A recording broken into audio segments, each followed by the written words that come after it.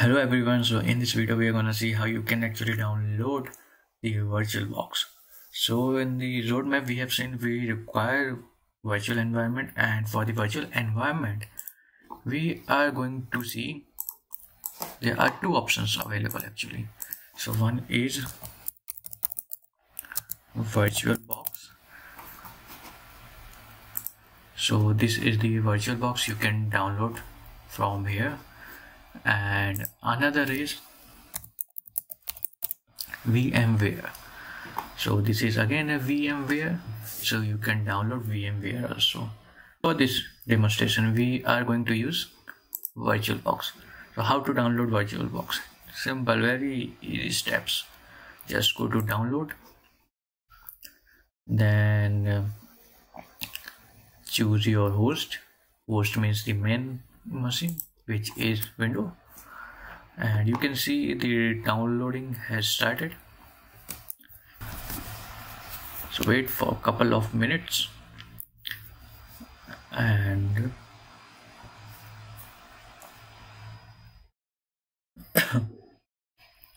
yeah you can see the virtual box then open. So you will see this kind of window click on next then next. Then next. Then yes. And stop. Just wait for some couple of minutes.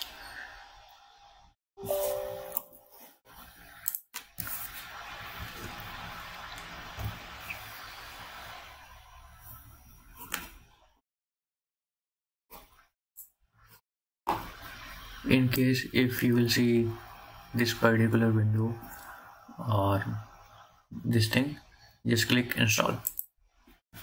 This will install all the required packages.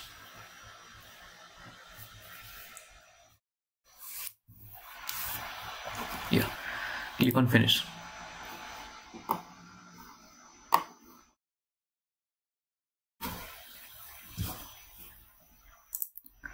yeah see you can see the VirtualBox has already installed. Uh, you will not find this Samsung Galaxy and Kali here so just let me remove because um, one second let me remove these two things because I was using VirtualBox previously and I have installed these two virtual environment for my practical purposes. So yeah you will see this kind of window or interface. So let's keep it aside. And now we need to install dvwa so for that search dvwa vulnerable hub. Yeah. Dvwa vuln hub so dvwa application. See you can see the date release. The first date is the first date release you can see the date release and all the options. So here you need to download ISO file right? We are using VirtualBox so we need to download ISO file. Click on here.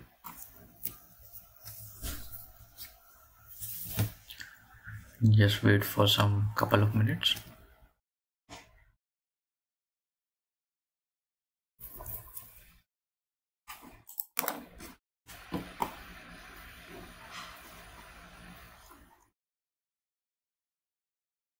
it's not working I think. Try on next link. No problem. The link so yeah. It's see it is going to install.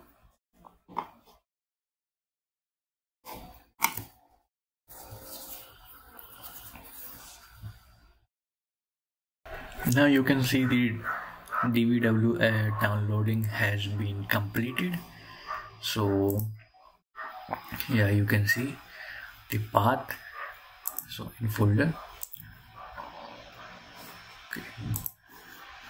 Now the next thing is you need to set up DVWA in your virtual environment. So for that very first click on new here and you need to provide the name. So we will provide the we will write DVWA and you can write anything any name target web application doesn't matter. Then linux and you can ubuntu yeah you can write ubuntu here no problem. You can select ubuntu here no problem. Then next. Then you can uh, yeah. It's up to you. You can set up to up to 2g 2 gb it's up to you. You can set up any memory. Here but dvwa it's not any powerful application so i am taking it something around 800 it will work. Then yeah create a virtual hard disk select the second option then create. Then next. Then next yeah you can change the location size because dvw is very small application so you can set 20 i think 20 is sufficient. Create. Yeah so you can see here dvw so here you can see we have successfully set up our DVWA environment here but the thing is if you click here start it will not boot up because we have not provided any ISO image here for DVWA so for that you need to first configure some of the things. So go to setting and in the storage check for DVWA VDI and for that go to here and choose a disk file. And uh, you need to go to your downloaded where you just downloaded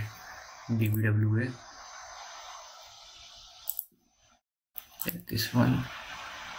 ISO image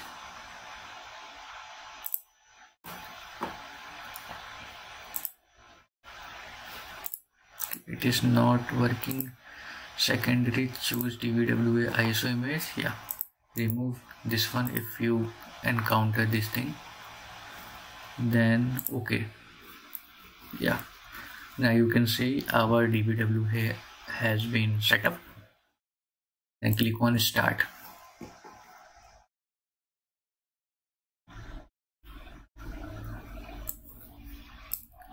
So you will see a pop-up here. Just click on start. And you can see our virtual box is going to start. So isolanic debian copyright. Yeah click on enter then you can see different option here. So you can select the install one. And it's loading.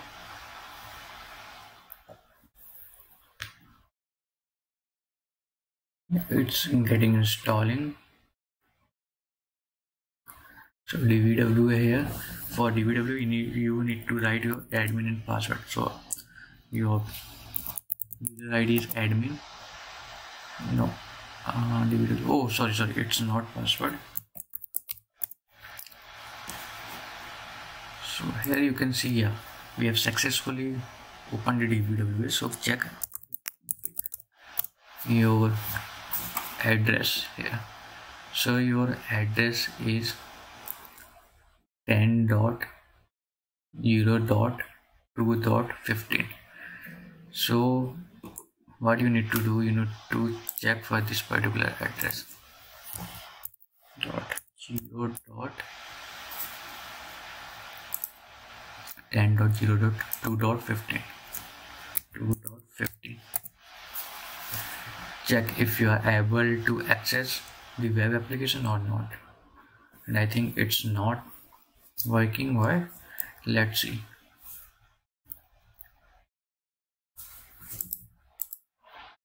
no you are not able to access no worries. So what you need to do just power of the machine go to settings go to network and here you need to change it to bridge adapter here. Okay? So you need to change bridge adapter here. Then click on ok. Then start your machine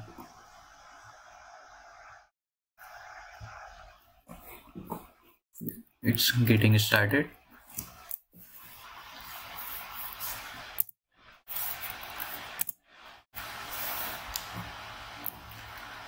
Okay so it's um, working. Let's see. Welcome to ubuntu. Now check our ip address. So here our ip address you can see here which is 192.168.1.15 so 192.168.1.105 see so this is our dvw application. So we will use this particular web application for our demonstration for our exploitation of the vulnerability right? So just you need to like see. Admin. User name is admin. And password is password. See. So this is our DVWA web application which is damn vulnerable web application. So we will use this particular application for our attacks and for demonstration part as we are not allowed to attack directly on any other web application because it's a illegal problem. It's a you can see legal legal thing. So we will use this particular application. So each time when you need to check for this particular application you need to run your dvwa from virtualbox right? Your dvwa is now running from your virtual environment. So if you uh, one second. So yeah. So if you suppose yeah.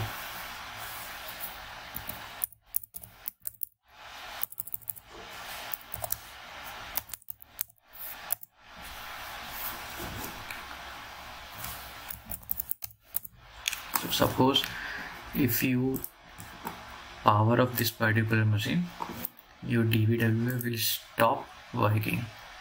Let's refresh this thing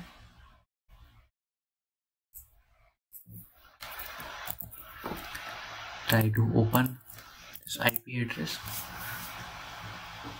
see this is not working. Why? Because we have shut down. We have ended our virtual session of DVW here. So I hope you understood the operation procedure. You understood how you can configure DVW here. Just I'm repeating every step. Very first you need to uh, go to new then here you need to give any Kali. You need to give any name here. Then Microsoft Linux and uh, 64 then next. Then next you can uh, check memory as per your and your requirement. And next. And next. Then next. Then you can again allocate memory as per your needs and requirement. And next see this one is created. Just um, now next step is go to setting here. And now in the setting go to storage. And here you can see dvwa demo. So try to take a file here. So download it. So see if you are not able to set a file here no need to worry. Just remove this thing.